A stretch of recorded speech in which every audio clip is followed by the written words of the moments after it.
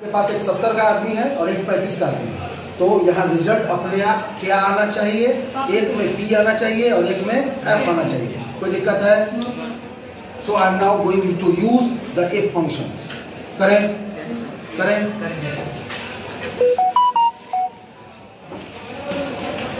Equal to और plus से M S Excel में फॉर्मूला स्टार्ट हो गया। ये रिवीजन भी हो गया।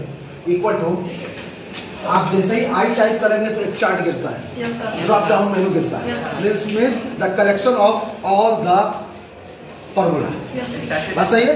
जैसे आई आई दबाएँगे तो आई की पूरी लिस्ट आ जाएगी। ए दबाएँगे तो ए की लिस्ट आ जाएगी। एस दबाते हैं तो एस की लिस्ट आ जाती है। सी भी यूज़ किए थे। काउंट काउंटर काउंटिंग तो उसका भी लिस्ट गिरता है। कोई डाउट है? आई दबाए। या तो आप खुद टाइप कर लीजिए या आई से इफ़ में सर्च करके और टैप दबा दीजिए। टैब दबाने से क्या होता है? आपको यहाँ तक वो खुद टाइप करके देते हैं। कोई डाउट है यहाँ तक किसी को कोई दिक्कत? अब हम क्राइटेरिया चेक करने जा रहे हैं। दैट इज़ क्राइटेरिया चेक या लॉजिक चेक क्या कहा जाएगा? क्राइटेरिया चेक इस चीज़ को नोट कर लीजिए आप रहिए। क्राइटेरिया चेक और logic check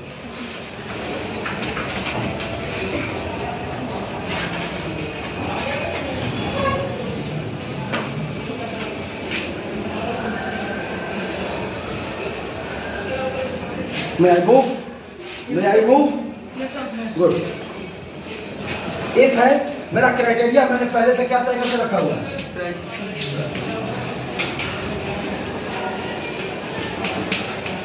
सत्तर हो तो सत्तर से बड़ा हो तो पास नहीं तो फेल शुरू करें।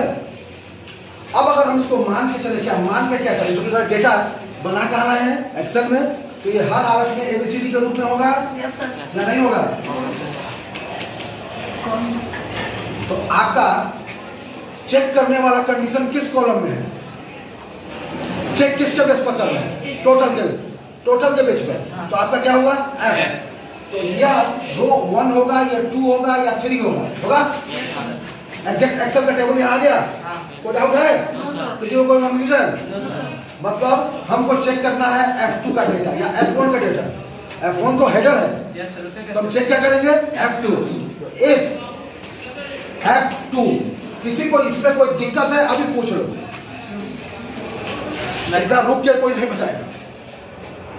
किसी को अब यहाँ दिक्कत है यानी कि आप F2 कह के ये कह रहे हैं कि तुम 70 को चेक करो। हाँ या ना?